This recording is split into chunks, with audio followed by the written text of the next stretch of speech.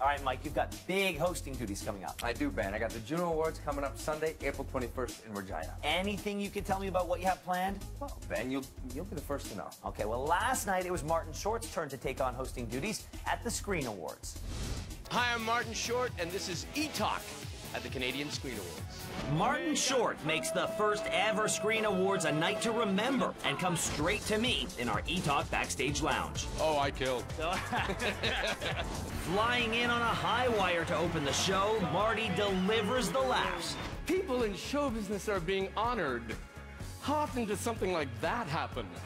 Even bringing out his classic characters, Jiminy Glick and Ed Grimley. What has happened back here, by the way? This this wasn't here 30 years ago. If you think about it, you, at least until next year, are the greatest host this show has ever seen. Absolutely. seen. They've never had a better one. On the red carpet, everyone's wild about Martin. Martin is a brilliant uh, performance artist. I say Martin Short, you say. SCTV, grade six. Like, I'm gonna pee when I see him. I'm so excited. When I say Martin Short, you say. Hilarious. I love you. I wouldn't kick you out of bed. Whoa. They did not expect that last part. Say that? So, I lost both my categories. And although he doesn't win, he gets high marks for hosting. My rock bottom is still your wildest dreams. I think Martin Short is hilarious and people in a good mood. Oh, he's great. Yeah. Oh, yeah, he's, he's a very funny man. Basically, Martin Short stole the show, which he should. He's the host. But will he be back next year? well, uh, this time I would like to think there would be per diem. And, um, you know, I mean, it was a great experience, but I think to just have a cab sent, I'd like a driver. The fun continues when a music making short interrupts our interview with Sandra Oh. Wow. I think that. I Who's think, singing? I think that's Martin Short.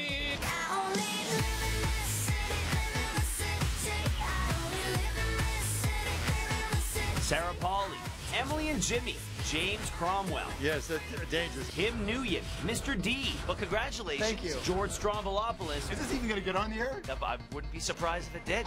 and CTV's own Brian Williams. I'm a sportscaster. To run around here with movie stars, it's, it's, it's a bit intimidating, Ben. I'm with all the winners and their new weaponry. It is weaponish. That's not carry-on luggage. No, and there are a few people I would have liked to hit with it, so it was very, very frustrating. I tripped going up the steps. I thought I'd get the Jennifer Lawrence Yeah, there we reaction. go. What but happened to nobody, you? nobody even noticed. This is the most dangerous piece of hardware. It's the event where the best in Canadian film and TV collide. That's got to be a thrill. Yeah, she's one of uh, she's one of my favorite comedic actresses. I watch Home Alone every Christmas. And where we go head to head with our friends from other networks. I feel like I'm doing a press conference uh, as uh, Mahmoud Ahmadinejad. We don't mean it. Nice mics. That's the difference between your network and my network. Look at that. Because these are real diamonds. So pick one, and you're gonna read it, and, and then you're gonna answer it. How would you sum yourself up in a hashtag? I did tweet twice during the Olympics. Proud Canadian, blessed.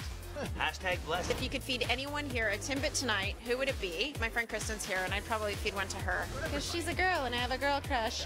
Jay Baruchel. He's very adorable. My first response is m- my wife. Well, that's the appropriate answer. Yes. answer. But I want to know the inappropriate answer. I can't because it'll get me into so no, much trouble. No, no, look. Up next, a final farewell to Flashpoint. Tonight, it seems like it's a nice way to say goodbye. We're with the cast the entire weekend. Please welcome Sergio Di Zio.